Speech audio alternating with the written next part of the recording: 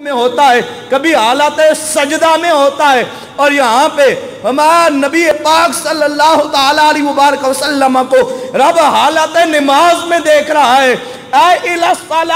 रब देख रहा है कि मेरा महबूब नमाज़ के अंदर खड़ा है। और आका सलाम जब नमाज़ में खड़े होते हैं अकाली सलाम के कदमैन शरीफैन में वरम पड़ जाते हैं। जलाल शाह फरमाता है, या अय्युहल मुजम्मिल महबूब, पूरी पूरी रात कयाम करते हो, पाँव में वरम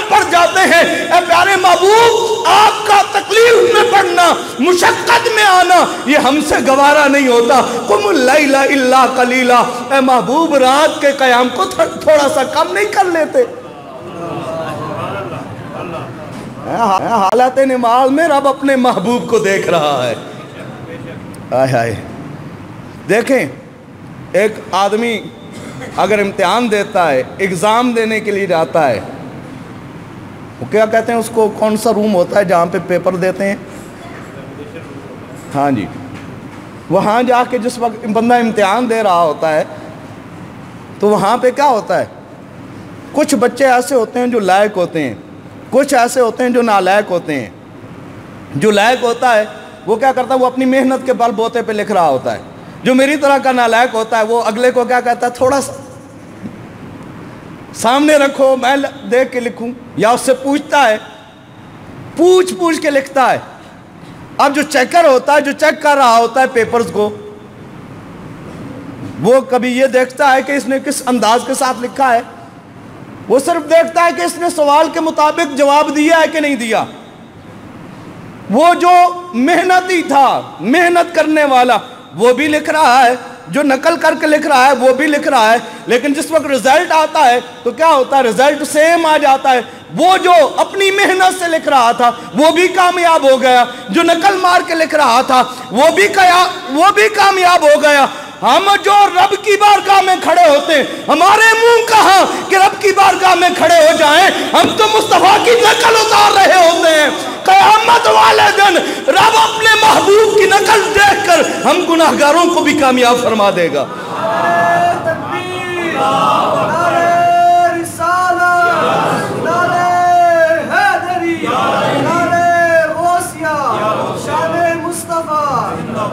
क्योंकि रब देख किसको रहा है?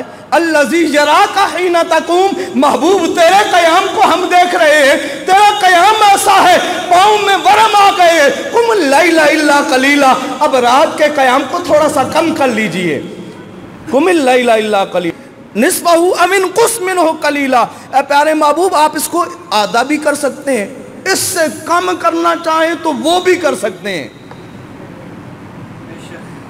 अमीन कुसमिन हो इल्ला कलीला। मगर थोड़ा कयाम किया कर और जिद अलह, महबूब तेरा जी चाहे ना रब से बातें ज़्यादा करने का तो कयाम को बढ़ा भी सकते हो। देखें जिससे बंदे को प्यार हो ना, प्यार हो, मोहब्बत हो, इश्क हो, बंदा उससे बातें करता है, और बातें करते करते थकता नहीं है। महबूब कौन से बढ़ के?